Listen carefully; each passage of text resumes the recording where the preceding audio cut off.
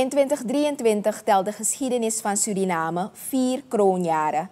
Het eerste kroonjaar is 150 jaar Hindoestaanse immigratie op 5 juni aanstaande. ATV brengt u een serie waarbij dit kroonjaar vanuit verschillende invalshoeken wordt belicht. Vandaag in onze vijfde editie Religie binnen de Hindoestaanse gemeenschap. Het verslag is van Sheflin Paulus. Binnen de Hindoestaanse gemeenschap worden verschillende religies beleden. Diverse geestelijke leiders hebben een bijdrage geleverd aan het vergroten van het aantal leden van deze gemeenten en de instandhouding van deze stromingen binnen Suriname. Robert Bipat, voorzitter van de Surinaamse Islamitische Vereniging, zegt dat Suriname uniek is wat betreft de samenhorigheid tussen de verschillende religieuze groepen.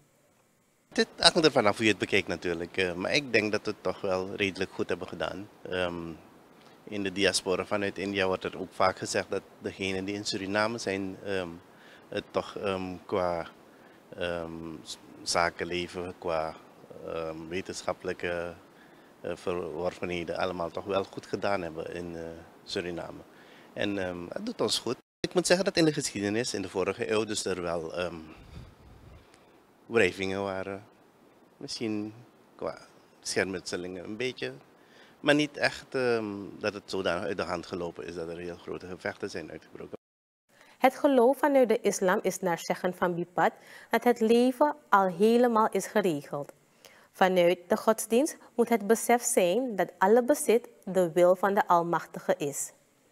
En dan moeten we dan ook uitgeven ten, ten gunste van Hem. En een van de zaken is dus dat we dus moeten denken aan de armen en uh, dat soort zaken. En elkaar moeten helpen om succesvol te zijn ook.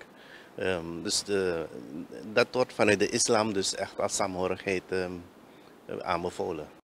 Bibat zegt dat de Surinaamse Islamitische Vereniging ruim 3000 leden telt, waarvan 95% Hindoestanen. Het overige deel behoort tot een andere etnische groep, een proces dat op traditionele wijze is ontstaan.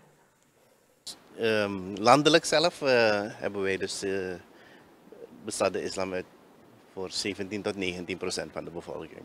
De groep Hindoes is eigenlijk uh, veel groter dan de moslims. Um, en ik denk dat die dus tussen de 30 en 40 procent beslaan. Um, volgens mij zijn zij dus als je de aparte christelijke groeperingen neemt, dus niet als één groep godsdienstplaats, dan is het Hindoeïsme de grootste groep in Suriname. In Suriname bestaat er een goede band tussen personen met verschillende religieuze achtergronden. Voor Bipad een mooie manier van geloven in de ene ware God. Pandit Nitin Jagbenden, voorzitter van de associatie Senatendarum Mahasaba Suriname, zegt dat het ook meer bekend moet worden dat er niet alleen Hindoestanen naar Suriname zijn afgereisd, maar ook andere groepen die zich allemaal onder moeilijke omstandigheden hebben moeten opwerken. Daarom, je hebt dus dan, als je zegt Hindoestaanse immigratie, dan heb je het specifiek over de groep Hindoes.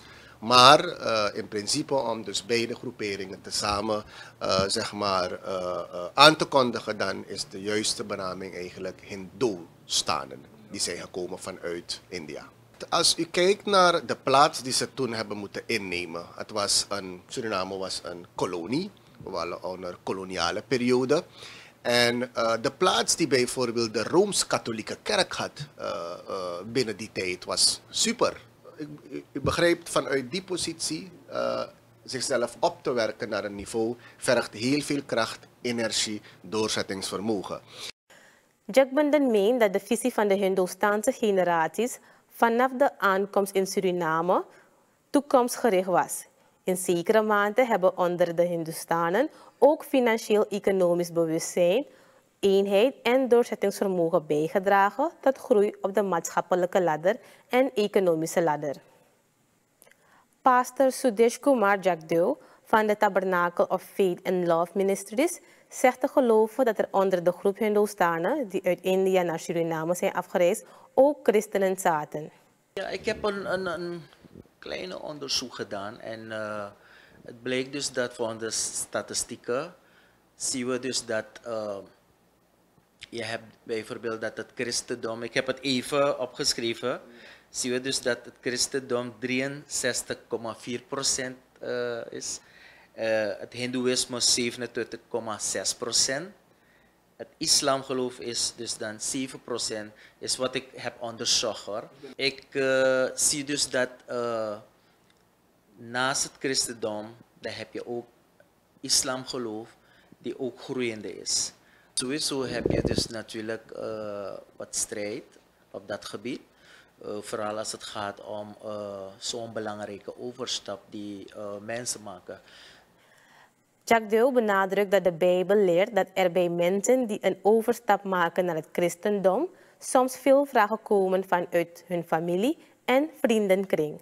De keuze van religie heeft niets te maken met etniciteit, maar met een persoonlijke relatie met de Almachtige.